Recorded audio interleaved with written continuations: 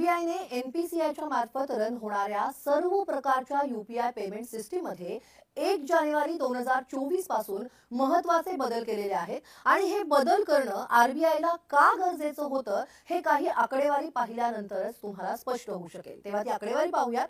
देशात युपीआयचे वापरकर्ते आहेत चाळीस कोटी.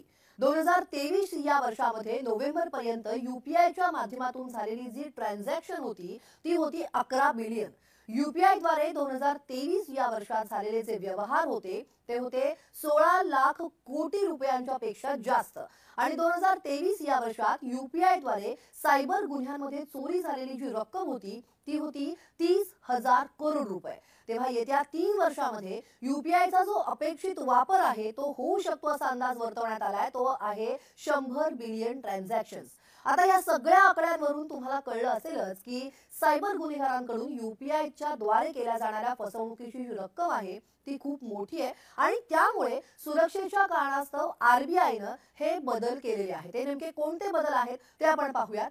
नंबर एक जर आपण जीपे फोन पे पेटीएम भीम ऍप हे युपीआय पेमेंट फोनमध्ये जर का तुम्ही जर ऍप इन्स्टॉल केलेले असतील आणि जानेवारी ते डिसेंबर दोन हजार तेवीस या एक वर्षाच्या काळात ज्या ऍपचा जर एकदाही तुम्ही वापर केला नसेल तर एक जानेवारी दोन हजार चोवीसपासून ती ऍप ब्लॉक करून सुरक्षिततेच्या कारणास्तव सस्पेंड केली जातील. नंबर दोन पेमेंट लिमिट. म्हणजे डेली पेमेंट लिमिट जास्तीत जास्त एक लाख रुपये आता असणार आहे. हा महत्त्वाचा बदल असणार आहे. नंबर तीन स्पेशल पेमेंट लिमिट फक्त हॉस्पिटल्स आणि शैक्षणिक संस्था यांना एक दिवसासाठी जास्तीत जास्त पाच लाख रुपये हे हे लिमिट असणार आहे. म्हणजे आता हॉस्पिटल किंवा शाळा कॉलेजेसची जी रक्कम असणार आहे ट्रान्झॅक्शनची ती पाच लाख रुपयांपर्यंतची असेल. पाच लाख रुपयांपर्यंतची फी आता युपीआयद्वारे तुम्हाला भरता येऊ शकते.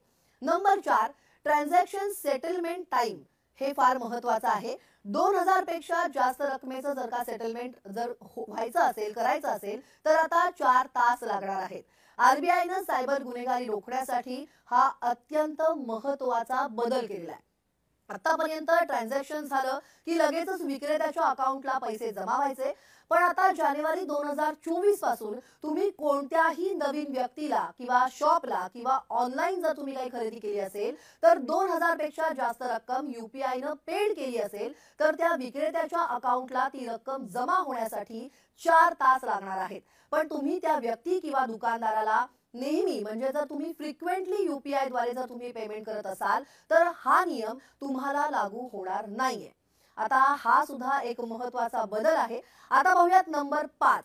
UPI transaction cancellation option. इथून पुढे युपीआयद्वारे नवीन व्यक्ती किंवा दुकानदाराला किंवा ऑनलाईन पेमेंट जर तुम्ही केलं तर चार तासाच्या आत तुम्ही ते ट्रान्झॅक्शन कॅन्सल करू शकणार आहात. आणि असं कॅन्सल केलेल्या ट्रान्झॅक्शन पेमेंटचं जे रिवर्ट आहे ते रिवर्ट होऊन मूळ अकाउंटला जमा होईल. आणि याचा मोठा जो उपयोग असेल तो सायबर गुन्हेगारांनी चोरलेली रक्कम परत मिळवण्यासाठी होईल किंवा चुकून दुसऱ्याच्या अकाउंटला जर का पैसे गेले असतील तर असं पेमेंट लगेचच परत हे मिळू शकणार आहे. पण याचा एक मोठा तोटा आहे. तो तोटा काय आहे तो मी तुम्हाला सांगते. जर तुम्ही नवीन ठिकाणी दोन हजार रुपयांपेक्षा जास्त रकमेची युपीआयद्वारे जर तुम्ही खरेदी केली तर दुकानदार त्या त्या त्या वस्तूची त्या खरेदी केलेल्या वस्तूची डिलिव्हरी आहे ती चार तासांनी तुम्हाला देईल. कारण चार तासात तुम्ही ट्रान्झॅक्शन कॅन्सल करू शकता. आणि हे त्यालाही माहिती असेल त्यामुळे तो रिस्क घेणार नाही. तसंच हॉटेलमध्ये जर तुम्ही जेवायला गेलात तर बिल दोन हजारपेक्षा जास्त झालं तर हॉटेल मालक युपीआय ऍक्सेप्ट करणार नाही जिथे तुम्हाला पूर्वी म्हणजे पूर्वीसारखंच डेबिट किंवा क्रेडिट कार्ड तुम्हाला वापरावं लागेल. तेव्हा हा महत्त्वपूर्ण बदल होणार आहे तोही लक्षात घ्यायला पाहिजे. आता बघूयात नंबर सहा.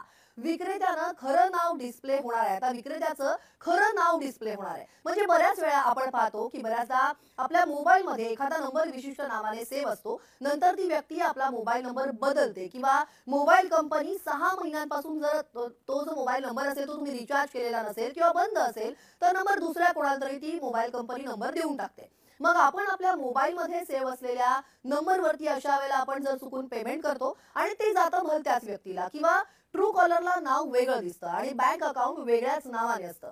इथून पुढे सिम कार्ड कोणत्याही नावाने असलं तरी बँक अकाउंट ज्या नावाने असेल तेच नाव युपीआय पेमेंट करायच्या वेळी तुम्हाला डिस्प्ले होणार आहे. हाही एक महत्त्वाचा बदल होणार आहे. आता बोलूयात नंबर सात. UPI credit line. युपीआयद्वारे पेमेंट करण्यासाठी बँकेत पैसे शिल्लक असणं हे आवश्यक आहे. पण आता तुम्ही तुमच्या बँकेला रिक्वेस्ट करू शकता आणि शिल्लक रकमेच्या पेक्षा जास्त रक्कम खर्च करू शकता. म्हणजे तुमची बँक तुमचं track record CIBIL score check करून ही फॅसिलिटी ओव्हरड्राफ्ट किंवा सीसी सारखी तुम्हाला देऊ शकते. आता बघूयात नंबर आठ. युपीआय एटीएम यासाठी आरबीआयनं जपानमधील हिताची कंपनी बरोबर कोलॅबरेट केलेलं आहे. आणि लवकरच ही जी एटीएम मशीन्स आहेत ही सगळीकडे उपलब्ध होणार आहेत. जसं डेबिट आणि क्रेडिट कार्ड स्वॅप करून एटीएम मधून तुम्ही कॅश काढू शकता. तसंच आता UPI Q R code scan करून तुम्ही या मशीन वरून कॅश तुम्हाला काढता येणार आहे. नंबर नऊ युपीआय ट्रान्झॅक्शन चार्जेस. जर कोणी युपीआय क्रेडिट लिमिट वापरून किंवा क्रेडिट कार्डद्वारे युपीआय वॅलेटमध्ये पैसे जमा केलेले असतील म्हणजे आता फक्त ही जी सुविधा आहे ही पेटीएम ला उपलब्ध आहे. पण असं जर का युपीआय वॅलेटमध्ये जर तुम्ही पैसे जमा केलेले असतील आणि त्यातून युपीआय पेमेंट केलं असेल तर त्या विक्रेत्याला एक पूर्णांक एक टक्के सर्व्हिस चार्ज हा द्यावा लागणार आहे. हा सुद्धा महत्त्वाचा बदल आहे. तेव्हा अजूनही काही सर्व्हिसेस प्रस्तावित आहेत. तसंच ह्या युपीआय सर्व्हिसेसच्या इम्प्लिमेंटिंगमध्ये येणाऱ्या अडचणींचा अभ्यास करून हे नियम एनईएफटी आरटीजीएस या ऑनलाईन पेमेंटसाठी सुद्धा लागू होण्याची शक्यता आहे. आणि लवकरच आरबीआयच्या वतीनं त्याबद्दल ऑफिशियल अनाउन्समेंट सुद्धा केल्या जाऊ शकतात. तेव्हा हे महत्त्वपूर्ण बदल एक जानेवारी पासून होणार आहेत. एक जानेवारी दोन हजार चोवीसपासून होणार आहेत. आणि ही माहिती जी आहे ती तुम्हाला नक्की उपयोगी पडेल. ही माहिती तुम्हाला कशी वाटली ते कमेंटमध्ये सांगायला विसरू नका. आणि हा व्हिडिओ जास्तीत जास्त शेअर करा.